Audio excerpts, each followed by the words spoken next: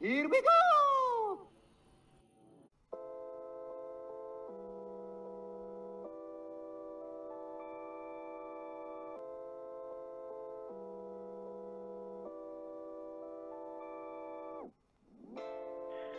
Entrer sur le marché du travail en tant que millénaire n'a pas été la chose la plus facile pour beaucoup de gens.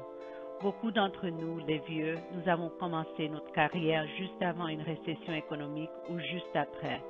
Pour beaucoup de gens qui ont commencé juste avant une récession, c'était particulièrement difficile. Nous avons peut-être été licenciés de nos emplois et peut-être même avoir été obligés d'encaisser nos 401k très tôt dans notre carrière.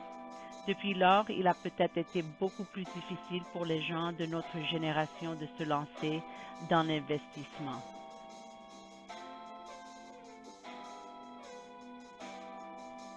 Les gains inégalés en matière de croissance technologique que nous constatons pendant la pandémie, puissance de millions d'utilisateurs de Reddit qui se sont regroupés et bien sûr les technologies blockchain et la finance décentralisée. Ce sont des choses qui m'ont tous vraiment enthousiasmé à l'idée d'investir d'une manière que je n'avais pas été depuis plus de dix ans.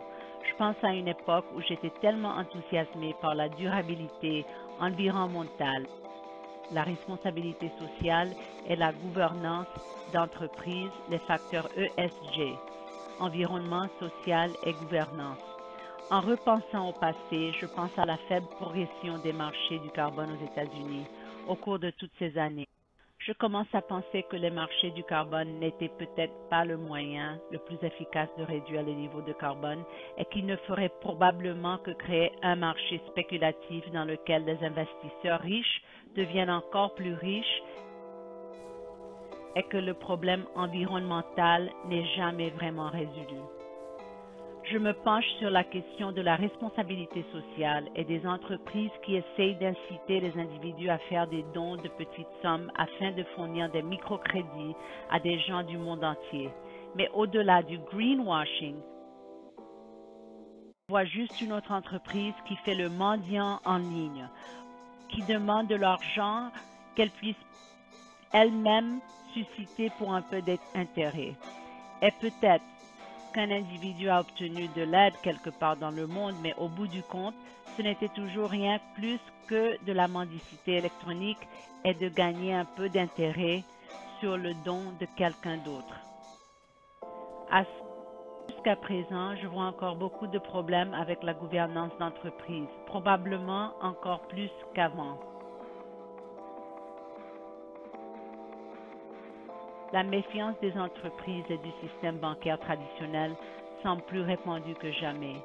Des questions comme la rémunération des primes liées à la performance des actions et à la diversité au sein du conseil d'administration semblent être un point de discussion de plus en plus soulevé. Je ne me suis jamais rendu à Wall Street ou à un autre capital financier majeur où je pourrais faire des choses comme calculer l'additionnalité ou des projets d'énergie renouvelables demandant des crédits de carbone dans le cadre du mécanisme de développement propre des Nations Unies ou calculer l'exposition des prix du carbone à des choses comme les marchés de l'énergie ou même à la recherche des rendements excédentaires anormaux des projets d'énergie renouvelable générant des crédits de carbone. Mais après avoir travaillé quelque temps dans l'industrie, j'ai décidé de retourner à l'école et de devenir expert comptable, CPA, espérant que peut-être la comptabilité publique pourrait être un moyen d'entrer dans le banque d'investissement. Mais en cours de route, je me suis vraiment intéressé aux technologies d'entreprise, ayant déjà une formation en SQL et en Relational Database Tools. J'ai donc toujours essayé de rester au fait des tendances technologiques commerciales. Et de la même manière que je vois les outils de base de données orientés qui sont entièrement collaboratifs et intégrés à travers les plateformes d'entreprise et qui sont intelligents, comme l'avenir de la technologie d'entreprise, je vois la finance décentralisée et les chaînes de blocs, les blockchains, et les registres ouverts, les registres sans confiance comme l'avenir de la finance, de l'investissement et des banques, réduisant considérablement les problèmes de confiance et de gouvernance d'entreprise.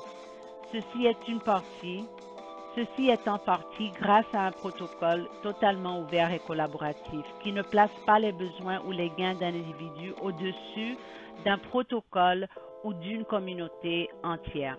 Cela augmente considérablement la confiance dans l'idée de responsabilité sociale en supprimant les intermédiaires et en permettant aux investisseurs individuels ou aux donateurs d'être investis des personnes qui contractent ces prêts. Et avec un grand livre ouvert, il y a moins de questions de savoir où va l'argent et moins de soucis de savoir si l'argent va aux personnes qui ont réellement besoin. Ces technologies blockchain évoluent rapidement et deviennent de plus en plus efficaces. Les questions sur la consommation d'énergie deviendra de moins en moins problématiques. Ces protocoles de prêt rapide et non discriminatoire pourraient être ce qui finance notre révolution bête. Bien que je vois beaucoup de désinformation parmi les plateformes de médias sociaux, parmi les utilisateurs de technologies de blockchain, je vois aussi un groupe d'individus inspirés et un marché qui est devenu beaucoup plus efficace. Il continue de devenir plus efficace à un rythme toujours plus rapide qui n'est comparable à rien d'autre que j'ai vu dans ma vie. Les gains d'efficacité actuels sur nos marchés traditionnels ont pris des centaines d'années. Enfin, je vois le potentiel de la technologie de blockchain être utilisée pour quelque chose au-delà du simple mouvement des données, mais aussi pour le mouvement des biens et des services, utilisé dans le cadre d'un registre sans confiance, armé d'une flotte de voitures sans conducteur, appartenant à des gens comme vous et moi, sans intermédiaire. Une vraie liberté pour tous les travailleurs de l'économie des petits boulots, le gig economy. Donc, je suis old man millennial. Je suis un joueur, un MBA, un CPA. Et si vous aimez ce genre de contenu, parler de jeux, de finances, des investissements, alors venez découvrir ma chaîne. Venez aussi me voir sur Twitter et donnez-moi une vote. Like.